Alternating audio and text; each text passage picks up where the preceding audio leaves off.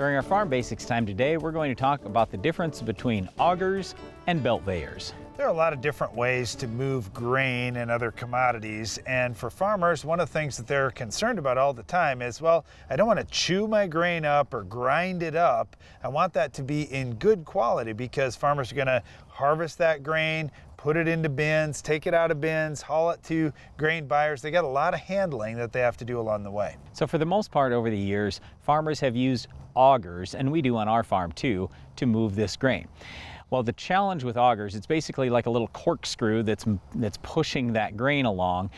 They run pretty fast, and if you're not running the auger full, then you can really chew up that grain. And the problem with that is now you might get a dock at the grain elevator because some of the grain is damaged, or if you put it in a bin, now it's much more likely to spoil.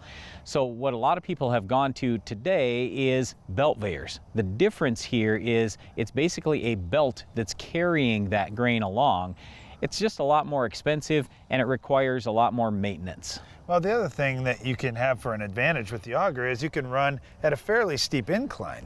With beltveyors, you can't run quite so steep. So you need a much longer beltveyor. And you know, if you just have one location and one grain bin and you have to move around a lot, well, it may not be such a big deal, but if you're moving it down the road, if you got to move it from one bin to the next, uh, boy, having a big long beltveyor can be a little challenging. Well, the reason why we're talking about this today is as you're driving past farms, if you're not a farmer, you may be wondering why the difference and why are some people using augers and some people have these great big belts out there. Well, the beltveyor just basically allows the farmer to have much better grain quality costs more money. Like Darren said, you can't go at as steep an angle or anything like that. So I get all that. But as things have changed on the farm and more farmers have been able to bring in at least a little bit more income with the grain, then they're looking at things like, okay, how can I maximize my overall return here?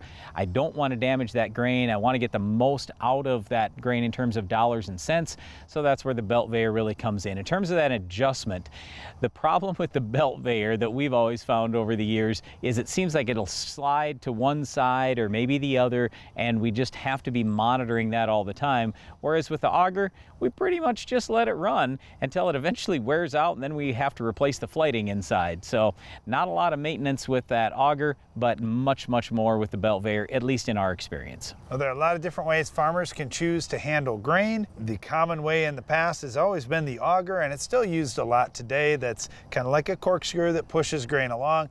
But the other way that's becoming a little more common, especially when it's for seed handling to keep that grain intact and in better condition, is the beltveyor. That was our discussion today.